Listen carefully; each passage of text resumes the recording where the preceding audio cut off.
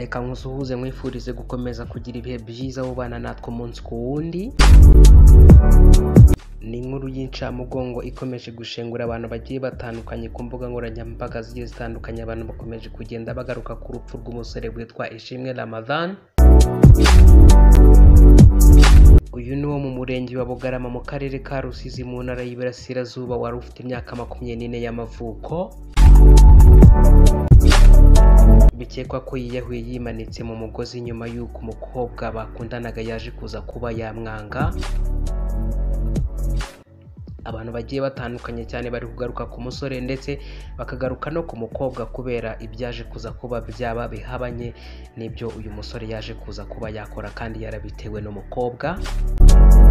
Reka mbanze nshimire kandi wowe ubana natwe umunsi ku wundi warangiza ugakanda subscribe. Niba ari ubwa mbere ugeze hano nawe yikanda kandi no ukazugera kugira ngo tujye tubana umunsi ku wundi.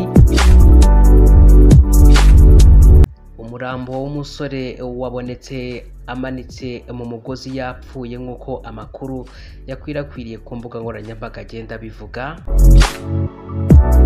Aya makuru natwe turi kuza kuba twabagezaho ni amakuru twagiye twakira ku mbuga nkoranyambaga zigiye zitandukanye ndetse natwe twashyizeho ubushakashatsi bwacu. Ubwo umusore kandi yaje kuza kuba yakwiyahura yasize yanditse urupapuro avugamo ko yahisemo kwiyahura kuko kubengwa n'umukobwa witwa Blandine bingana no gupfa.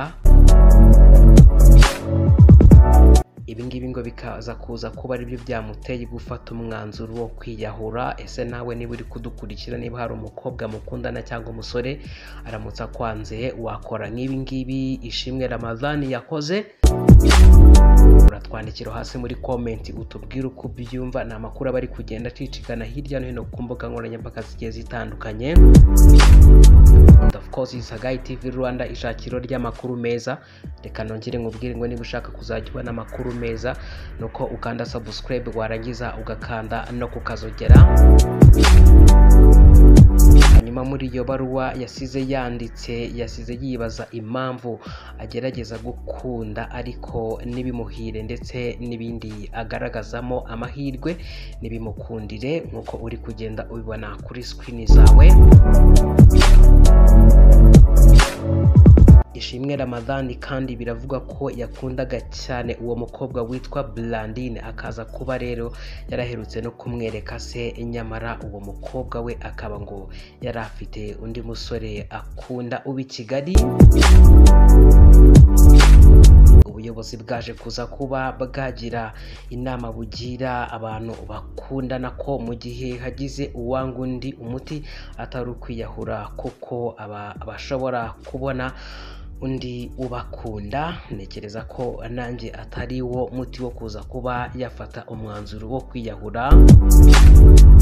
Ese wowe ubyumva gute inama wagira uyu musore nubwo atakiriho abandi bakiriho bari mu rukundo ariko bari kubabazwa uyu munsi niyo nama waza kuza kuba wabagira. Njyewe nawe dufatanyije. Twagira inama abantu bari guhura n'ibizazane mu rukundo hanyuma kandi tukagira inama n'abantu. Kutajya bahemukirana mu rukundo bagakundana neza byuzuye. Ku mbuga nkoranyambaga n'ubundi zigiye zitandukanye ibitekerezo byo ni byinshi twacishamo amaso ariko ni byinshi ntabwo twabirangiza. Ese wowe wumva hari kugenda gute ku buryo uyu mwana w'umuhungu atari kuza kuza kuba yakwiyahura? Ese ni ukuba yabuze abajyanama? Bamufashe mu by'imitekerereze bimeze bite? Ndagushimiye cyane kandi wowe uba wabanye natwe umunsi ku wundi ukaza kuza kuba waduhitamo ukadukurikira mu binyamakuru bisaga miliyoni imwe hano ku butaka bw'u rwanda. Ni iby'agaciro gakomeye cyane ntabwo nasoza nagushimiye ngo nkubwire ngo komeza kugira ibihe byiza hanyuma kandi nkubwire ngo niba ufite uwo ukunda umukomeze cyane n'umubabaze kandi nawe nakubabaze. Kubera ko murabona ibyaje kuza kuba byaba kuri Ramadan ishimwe ntago byoroshye. Ntabwo nasoza tutamwifurije kugira iruhuko ryiza nubwo yahisemo umwanzuro utari mwiza. Hanyuma kandi Blandine nawe waje kuza kuba yatuma ishimwe Ramadan yakiyahura nawe ibintu yakoze ntabwo ari byo koko niba ari byo byamuteye kuza kuba yakwiyahura. Reka twihanganishe umuryango wa Ramadan imana y'amahoro ikomeze kubarinda kandi bahihumure bakomere. Abegereye iwabo w'uyu musore babafate mu mugongo ni igihe umuntu aba akeneye abantu bamuba hafi bakamufata mu mugongo.